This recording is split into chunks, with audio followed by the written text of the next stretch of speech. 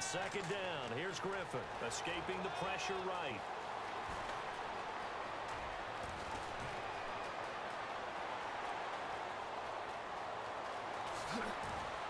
Touchdown, Chicago!